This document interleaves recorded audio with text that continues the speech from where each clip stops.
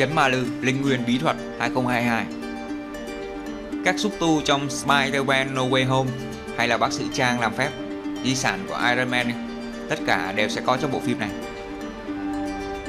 Hàng trăm năm trước, Ngọc Tu Tiên Sư phong ấn quái thú Tám Châu và một thần Tây Nam biến thành linh nguyên, có nghĩa là gỗ khô.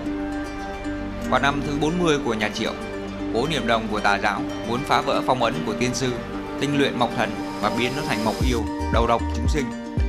Vì vậy, Tiên Hoàng đã lệnh cho Đường Lăng Phong và một số người của ẩn giám chấn ma tư chỉ huy quân đội tiến về phía Tây Nam tiêu diệt tà ma. Để chinh phục mộc yêu cần quái thú do công thâu gia tạo ra.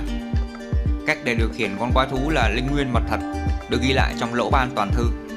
Điều này cũng liên quan đến mối thù 10 năm trước của đường gia với công thâu gia chấn ma tư 10 năm trước, công thâu gia vì để có được lỗ ban toàn thư đã tàn sát cả nhà họ đường. Chỉ có đường Lăng Phong 8 tuổi may mắn thoát chết, được thống lĩnh chấn ma tư Trương Kiệm đưa về chấn ma tư nuôi dưỡng. Đường Lăng Phong kết giao với Lục Ấn và Lục Đồng, ba người thân thiết như huynh muội một nhà, đồng thời thông qua sát hạch nghiêm ngặt trở thành một thành viên của ẩn giáo. Cùng với tân thế của đường Lăng Phong dần dần được tiết lộ, thì mối quan hệ của Lăng Phong và Lục Ấn, Lục Đồng cũng dần thay đổi. Ba người cũng dần rơi vào âm mưu của công thâu gia. Về phần tạo hình thì chắc các bạn đã không còn xa lạ với việc phim Trung Quốc vay mượn chất liệu từ Hollywood.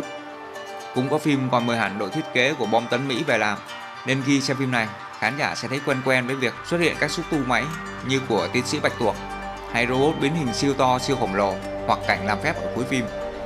Dù vậy thì kỹ xảo của phim chỉ ở mức xem được và được dàn trải cùng các cảnh hành động từ đầu đến cuối nên trải nghiệm thị giác ổn áp. Về phần cốt truyện thì không chỉ đơn giản là đánh nhau ầm ầm cho vui mà kịch bản còn có sự đầu tư xây dựng nhân vật nên người xem ít nhiều hiểu, đồng cảm. Phim có các cú twist và cách dựng đan cài tốt để các bí mật dần hé lộ. Nhà làm phim cũng chú ý lồng ghép chủ đề về môi trường, tình người, tình anh em không quá sượng chân. Còn về phần diễn xuất thì nhìn chung các diễn viên hiện tròn vai, không xuất sắc hay có nét ấn tượng, nhưng không gây khó chịu theo kiểu bình hoa di động. Phim có một đoạn mid credit mở ra phần 2 để giải quyết thấu đáo các vấn đề đặt ra từ đầu phim.